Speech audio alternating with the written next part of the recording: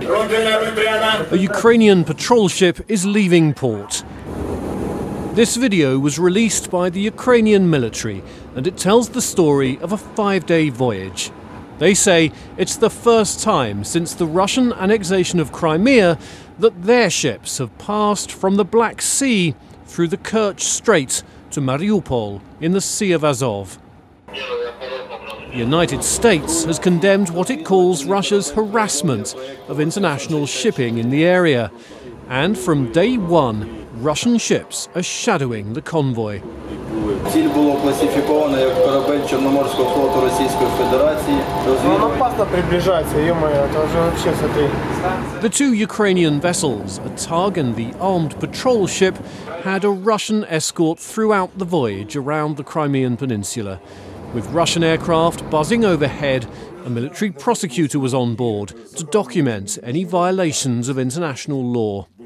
As the Ukrainian convoy drew near to the Kerch Strait, he reported it might not be possible to continue.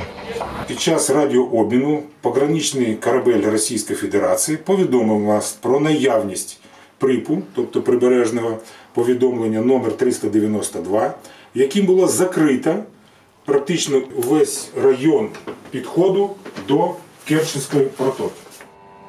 But they did not find any evidence that this warning had really been issued, and the Ukrainians continued. As they entered the straits, the Russian presence increased.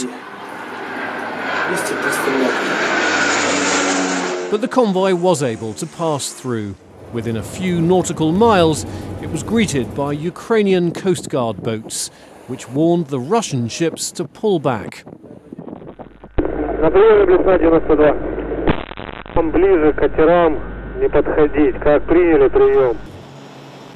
Ukrainian officials, port authorities, and shipping companies told RFERL that Russia detained nearly 150 Ukrainian and foreign merchant ships in this area between May and August this year. Russia says its checks on shipping are lawful. But Ukraine has said it will boost its naval presence in the Sea of Azov, and this modest convoy was a step in that direction.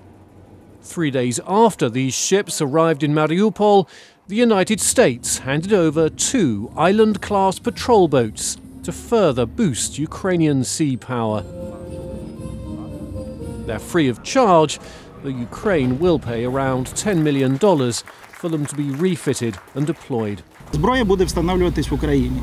Е, В Балтіморі буде приведені катери до стану як нові, з встановленням навігаційного обладнання, відновленням механічної частини, систем безпеки плавання е, та е, комплексів зв'язку.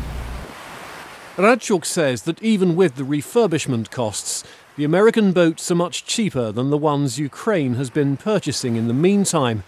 The United States first offered the boats in 2014.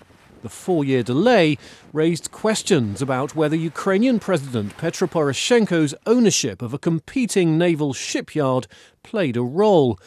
A senior figure in the Ukrainian Navy says the American boats are not only cheaper than those from Poroshenko's company.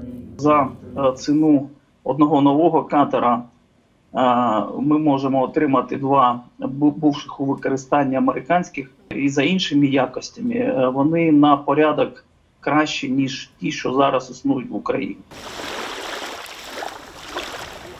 One day, those capabilities may be tested in action.